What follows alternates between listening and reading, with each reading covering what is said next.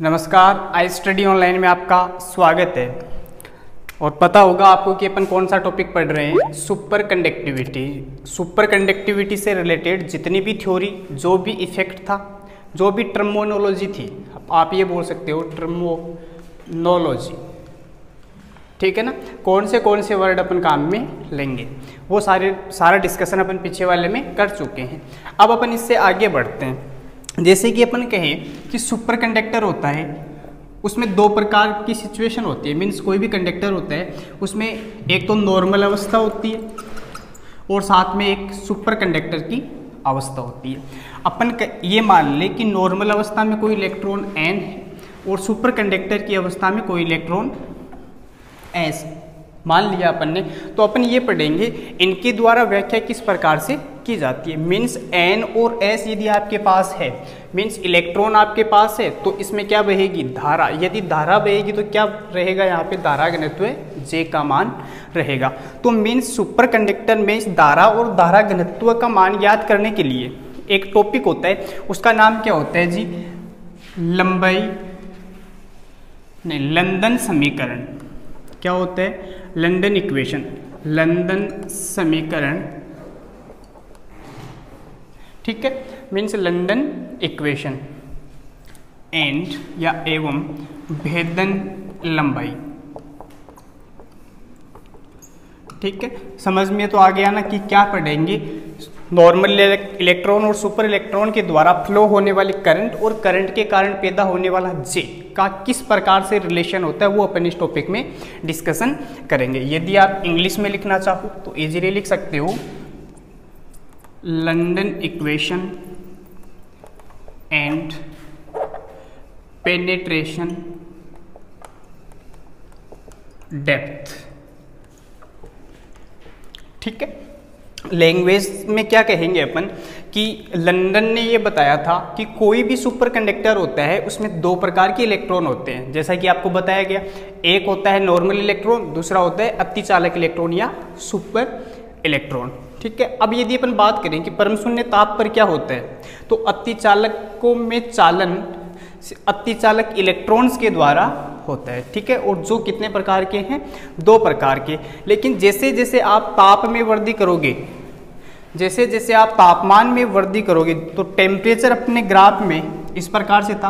ताप में वृद्धि करने के साथ साथ, इधर क्या था? नॉर्मल कंडक्टर था, इधर क्या था? सुपर कंडक्टर तो क्या है? जैसे जैसे आप ताप में वृद्धि करोगे और टीसी से आगे चलोगे तो सारे के सारे कौन से इलेक्ट्रॉन आपको मिलेंगे? नॉर्मल कंडक्टर के लिए जो इलेक्ट्रॉन्स होते हैं, वो मिलेंगे। ठीक है? तब अपन मान के ये चलते हैं कि जो सामान्य ताप है, ध्यान से समझना लैंग्वेज बता दी है मैंने। सामान्य ताप पर इलेक्ट्रॉन है, उनकी संख्या मान लो क्या है? स्मॉल एन एन इसी प्रकार अपन कहें कि सुपर कंडक्टर के लिए जो इलेक्ट्रॉन है, उनकी संख्या मान लो क्या है?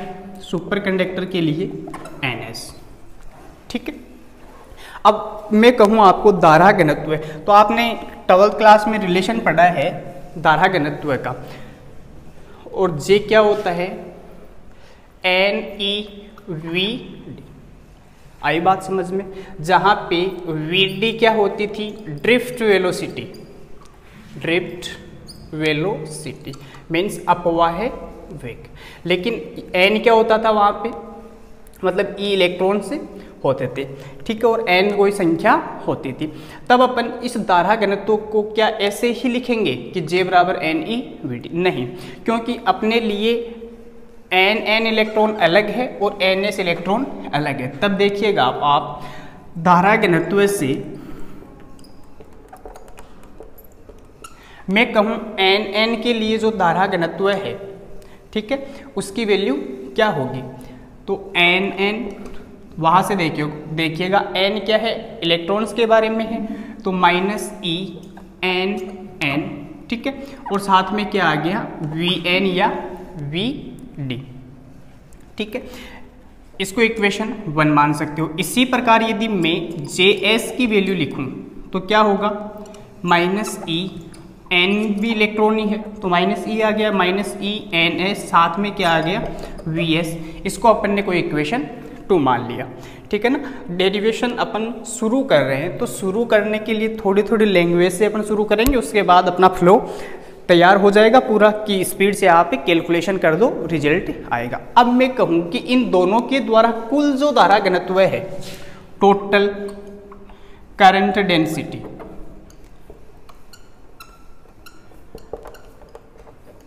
क्या होगी जी? जे अपन मान लेते हैं जे एन प्लस क्या है? जे एस टोटल है तो एन अपने पास है एस अपने पास है, इनका धारा घनत्व है तो टोटल दोनों का क्या होगा? वेग होगा। एक व दो से यहाँ पे आप वैल्यू पुटअप कर सकते हो। Means by equation one two and three क्या मिला आपने को? J equal minus E N N V N minus E N S V S जो बाहर आ रहा है उसको ले लो। जे इक्वल माइनस ई बाहर आ गया। अंदर क्या रह जाएगा? N N V N plus N S V S इसको अपन को इक्वेशन मान लेंगे चार। समझ आई यहाँ तक बात कि अपन यहाँ तक कैसे पहुँचे? फिर से मैं रिवाइज कर देता हूँ। सामान्य इलेक्ट्रॉन एन एन माने अपन ने सुपर इलेक्ट्रॉन एन एस माने। धारा घनत्व बताया था यहाँ पे आपको। एन ई वी डी यही डेफिनेशन पहले अपन किसके लिए लगाते हैं? एन के लिए। E इलेक्ट्रॉन का आवेश है तो निगेटिव में आ गया। ठीक है? इसी प्रकार अपन कहते हैं सुपर इलेक्ट्रॉन के लिए तो जे एस आ गया। टोटल धारा घनत्व यदि अपन कहें तो दो अपने पास है, दोनों का योग क्या होगा? टोटल धारा घनत्व फिर अपन कौन सी इक्वेशन तक पहुँचे? इक्वेशन फोर तक पहुँचे। समझ आई इतनी बात? अच्छा अब मैं कहूँ कि जब इसके ऊपर विद्युत क्षेत्र लगता है, लंदन ने बताया था कि विद्युत क्षेत्र भी इसके ऊपर अप्लाई अपन करते हैं। तो विद्युत क्षेत्र की परिभाषा क्या होती है? ई ए बराबर क्या होता है? ई बट्टा नहीं। ई इक्वल क्या होता है जी? ए बट्टा क्यू तो मैं कहूँ एफ़ की वैल्यू क्या निकल गई? ई इंटू क्यू एफ़ बराबर न्यूटन का नियम क्या होता है? एम बे क्यों करते हैं अपन? क्योंकि कहीं पे भी लगने वाला जो बल होता है, वो न्यूटन के बल को हमेशा संतुष्ट करता है, इस वजह से अपन न्यूटन के बल के द्वारा इसकी तुलना करते हैं। समझ आ रही है बात? मीन्स एफ़ की जगह क्या रख सकते हैं अपन? एम ए इक्वल यहाँ पे ई e. ये वापस इलेक्ट्रॉन का आवेश तो माइनस ई ई मैं कहूँ ए क्या होता है तो आप क्या कहोगे? डी वी बट्ठा डी समझ आई बात? लेकिन जो विद्युत क्षेत्र के बारे में जब अपन इसका डिस्कशन करें तो विद्युत क्षेत्र सिर्फ़ सुपर कंडक्टर की अवस्था में अपने लिए निकलेगा। इसका मीनिंग क्या है? देखिएगा, मैंने जो लैंग्वेज बताई है एम डी वी बटा क्या होता है? डी टी और यहाँ वेग किसका होता है जी? सुपर कंडक्टर का होता है। इनके बारे में पीछे वाले वीडियो में बता चुके हैं। Minus E E upon M D V S upon D T क्या हो जाएगा? Minus E E divided by M अपन ने किसकी वैल्यू निकाल ली? D V S upon D T की वैल्यू निकाल ली। अच्छा ठीक है। अब मैं कहूँ, आपको वी एस वाली फॉर्म में जे एस भी चाहिए। क्यों करेंगे अपन ऐसा? देखिएगा, इसको फाइव मान लो। अपने को क्या चाहिए? डी वी एस बटा डी टी वी एस अपने लिए इस इक्वेशन में है। ठीक है, इसका मीनिंग क्या है? अपन इस समीकरण का यदि अवकलन करें तो अपने को क्या मिलेगा? D V S upon D T तो देखिएगा, समीकरण दो का अवकलन करने पर, जैसे ही अपन उसका डेरिवेटिव करेंगे, मिलेगा क्या अपने को? D J S upon D T that equal minus E N S ये तो संख्या है। साथ में डी वी एस अपोन क्या हो गया जी? और D V S upon D T क्या आपके पास है? अभी निकाला है अपन ने, ठीक है? इसको इक्वेशन मान लेते हैं अपन छः समीकरण पाँच व छः से अपन क्या लिख सकते हैं? By equation five and six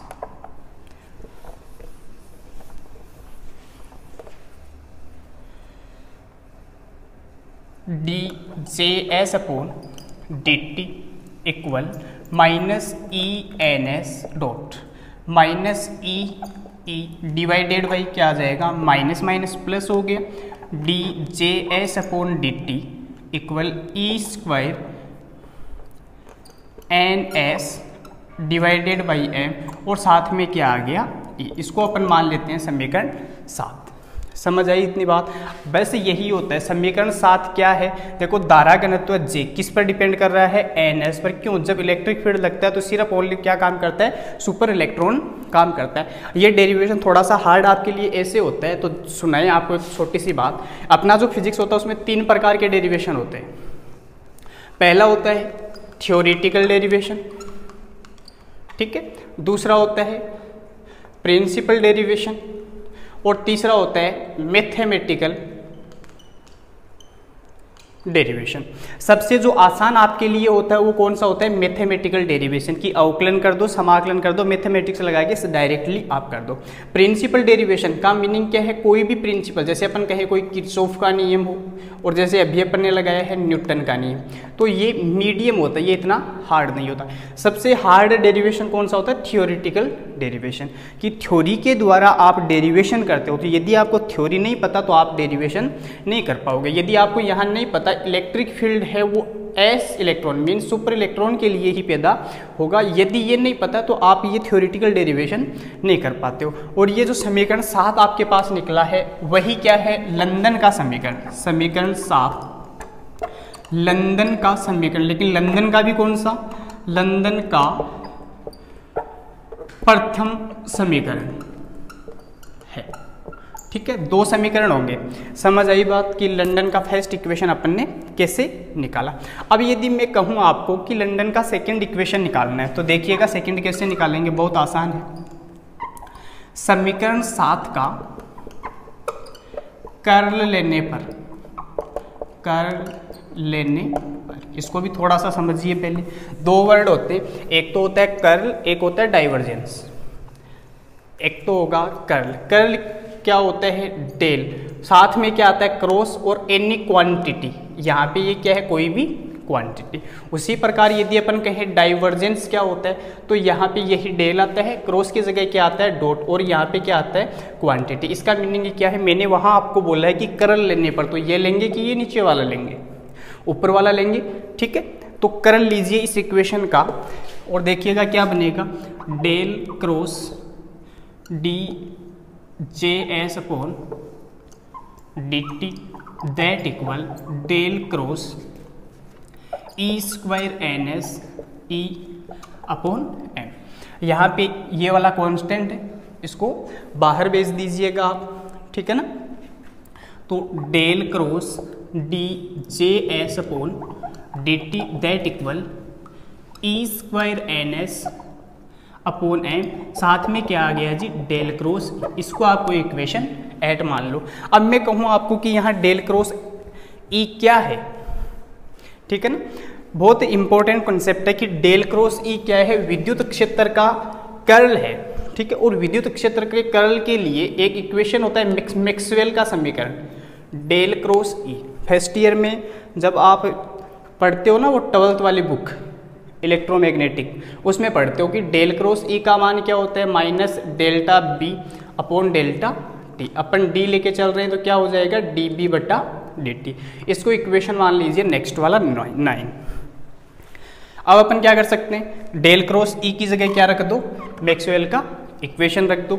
Then from equation eight we find out del cross D J S divided by D T equal E square N S upon M साथ में क्या आ जाएगा? Minus D B upon D T आगे बढ़िए, जाएगा D बट्टा D T बाहर निकाल दो डेल क्रॉस जे एस इधर क्या मिला अपने को? Minus E square N S divided by M साथ में D B upon D T D T से डी टी चला गया। फिर क्या रहा? D del cross J S equal minus E square N S upon M साथ में क्या आ गया? डी बी डी लिखा हुआ इसका मतलब क्या है? अवकलन अवकलन को हटाने के लिए अपन क्या करते हैं? समाकलन करने पर। जैसे इंटीग्रेशन करोगे तो यहाँ से डी हट जाएगा तो डेल क्रॉस जे एस किसके बराबर हो गया जी? Minus E square N S upon M यहाँ से भी डी हट गया। क्या आ गया? बी समझ आई बात। और इसको अपन मान लेते हैं नेक्स्ट वाला इक्वेशन दस समीकरण दस क्या है? जे एस का बी के साथ में रिलेशन मीन्स आपने क्या सीखा अब कि कोई भी सुपर इलेक्ट्रॉन के द्वारा जो धारा घनत्व है, उसके साथ इलेक्ट्रिक फ़ील्ड ई और मैग्नेटिक फ़ील्ड बी के बीच रिलेशन पैदा करने वाले समीकरण ही क्या कहलाते हैं जी? लंदन के समीकरण कहलाते हैं। और एग्ज़ाम के पॉइंट ऑफ़ व्यू से वेरी इंपॉर्टेंट टॉपिक है। इस वाले यूनिट से बहुत इंपॉर्टेंट टॉपिक है लंदन का इक्वेशन समझ आया यहाँ तक? फिर देखिएगा, आगे क्या लिखा हुआ है? लंदन के समीकरण के बाद भेदन लंबाई. एक छोटे से एग्ज़ाम्पल से आपको बताना चाहें कि भेदन लंबाई क्या हो सकती है? सपोज़ कीजिएगा आप कि इस प्रकार से कोई परमाणु है, ठीक है? इधर से कोई भी मान लो कर्ण आ रहा है, कैसा भी कर्ण है ठीक है ना? गामा हो सकता है, एल्फा हो सकता है, ठीक है? ये यदि इस परमाणु की तरफ़ आए तो ये इस परमाणु के कहाँ तक पहुँचे? मीन्स इसके अंदर कहाँ तक पहुँचे? उसी को अपन क्या कहते हैं? पेनेट्रेशन डेप्थ वेदन लंबाई। समझ आई बात? लेकिन अपना यहाँ मकसद ये है कि आप इसके लिए डेरिवेशन पढ़िए कि वेदन लंबाई का डेरिवेशन क्या होता है। ठीक है तो देखिएगा। अभी अभी अपन ने पढ़ा है, एक रिलेशन वहीं से अपन शुरू करेंगे। या फिर आप जानते हो ना, डेल क्रॉस बी क्या होता है? म्यू नोट, साथ में जे किसका नियम होता है? एम्पियर का नियम होता है। और सुपर इलेक्ट्रॉन के लिए तो अपन क्या लगा देंगे? J S. इसको कोई समीकरण अपन मान लेंगे, वन है, ठीक है? इस समीकरण का मैं दोनों तरफ़ कर्ल ले लूँ। बताया था अभी कि एक तो कर्ल होता है, दूसरा डाइवर्जेंस होता है। तो जैसे ही अपन कर्ल लेंगे तो del cross del cross B, that equal, यहाँ पे म्यू नोट और क्या आ जाएगा? Del cross J S. समझ आई बात? इधर क्या लिखा है? Del cross del cross B. इसके लिए एक फॉर्मूला होता है, वो ध्यान में आपको रखना है। फॉर्मूला क्या होगा? Del del dot B minus क्या होता है? Delta square B. फिर क्या है? Del cross J S. अभी अपन ने निकाला था डेल क्रॉस जे एस का मान। ठीक है? और डेल क्रॉस जे एस क्या निकला था? Minus E square upon M, और साथ में क्या था? बी। और यहाँ पे इलेक्ट्रॉन्स की संख्या थी मीन्स एन एस। सुपर है तो super electron minus E square N S upon M, साथ में क्या आ गया? बी। इसको इक्वेशन नंबर वन मान लो, इसको इक्वेशन टू मान लो, इसको इक्वेशन थ्री इस इक्वेशन के सॉल्यूशन के लिए आपके पास ये होना चाहिए, ये होना चाहिए अवेलेबल है। मीन्स समीकरण दो और तीन से मान कहाँ पे पुटअप कर दो आप वन में। क्या मिलेगा अपने को? Del del dot B minus delta square B किसके इक्वल हो गया जी? Mu naught E square N S divided by M साथ में क्या आ गया? बी नेगेटिव साइन ठीक है ना? Negative sign del dot B का मान क्या होता है जी यहाँ पे? ज़ीरो मीन्स मैग्नेटिक फ़ील्ड का जो डाइवर्जेंस अपन लेते हैं, उसका मान क्या होगा? ज़ीरो होगा. ईडी में पढ़ते हैं अपन. ठीक है? तो अपने पास नेक्स्ट इक्वेशन क्या निकला? Minus delta square B equal minus mu naught E square N S upon M into multiplied by B negative two negative positive हो गया, हटा सकते हैं अपन, ठीक है? ये इक्वेशन जहाँ तक आपके समझ आया है, इसका मीनिंग बेदन लंबाई आप इजीली समझ सकते हो। यहाँ पे ये जो फैक्टर निकल के आ रहा है, इसी को अपन क्या बोलेंगे? बेदन लंबाई। और कैसे देखिएगा? डेल्टा स्क्वायर बी बेदन लंबाई को अपन यहाँ लेमडा से लेंगे, ठीक है? One upon lambda S square किसके बराबर होता है जी? बी। जहाँ ये लेमडा एस होता है, वही क्या होती है? भेदन। लंबाई पेंट्रेशन डेप्थ अब यहाँ से आप वैल्यू निकाल सकते हो। कि one upon lambda S square किसके बराबर है? Mu naught E square N S divided by M यदि मैं कहूँ लेमडा एस स्क्वायर क्या हो गया तो एम ऊपर नीचे हो जाएगा ना? M upon mu naught E square N S. देखिएगा नेक्स्ट लेमडा एस क्या बना? Root M upon mu naught E square N S ये क्वेश्चन सीधा आता है कि सिद्ध कीजिए बेदन लंबाई का सूत्र जो लिखा हुआ है root M upon mu naught E square into N S होता है। समझ आई इतनी बात? नेक्स्ट यदि अपन आगे बढ़े, कि इसका एक ग्राफ डिस्कशन होता है कि ग्राफ आप कैसे बनाओगे। तो यहाँ से देखिएगा, इसको इक्वेशन ले लो। ये चार है और ये पाँच है। यहाँ आप लिख सकते हो समीकरण पाँच, भेदन लंबाई को दर्शाती है। ठीक है? अब मैं आपको कहूँ कि वो जो इक्वेशन चार लिखा गया है, उसका सॉल्यूशन क्या होगा? तो देखिएगा। नॉर्मल अपन डिस्कशन करें। डेल्टा स्क्वायर कोई अवकलन है, दो बार तो अपन ऐसा मान सकते हैं। डी टू बटा डी टी स्क्वायर साथ में क्या आ गया जी? बी उसको इधर ले आओ। Minus one upon lambda S square साथ में क्या है जी? बी इक्वल ज़ीरो ये बी के पदों में क्या है? कोई डिफरेंशियल इक्वेशन है। बी के पदों में क्या होगी? ये कोई अवकलन समीकरण होगी। और अवकलन समीकरण आपने पढ़ी है मैथमेटिक्स में, और इस प्रकार का जब समीकरण होता है, उसका सॉल्यूशन होता है B of X equal B naught E की power minus X upon lambda solution क्या होगा? B X equal to B naught जहाँ बी नोट है, किसी परम शून्य ताप पर, विद्युत क्षेत्र, ठीक है, जो अपन यहाँ पे ले रहे हैं। इक्की पावर माइनस एक्स अपॉन क्या हो गया? लेमडा सॉल्यूशन पता रखना पड़ता आपको। इसको इक्वेशन सिक्स इक्वेशन सेवन क्योंकि यहाँ अपने फिजिक्स में ऐसा नहीं है कि मैथमेटिक्स की तरह आप पे सॉल्यूशन करो। और कैसे करते हैं थोड़ा सा बता देते हैं आपको। कोई भी इक्वेशन लिखी हुई है तो उसका सॉल्यूशन ज्ञात करने के लिए आपके पास दो फैक्टर होते हैं। कंप्लीमेंट्री फ़ंक्शन पता होना चाहिए आपको।